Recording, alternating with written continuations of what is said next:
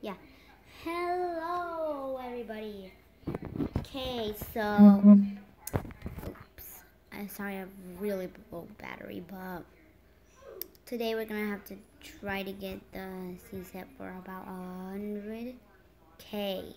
They might not accept it because the whole set is worth 125k. So, yeah. I'm a cheapskate.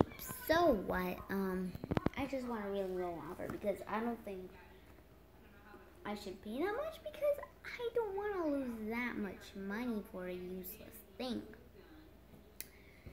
So, oh, this is this is a Mexican server.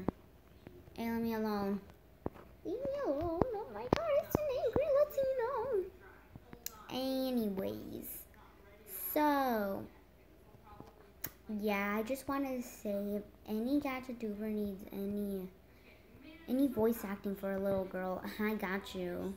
Just comment down below the lines, or comment down below if you if you if you need a voice actor. You want me to be it?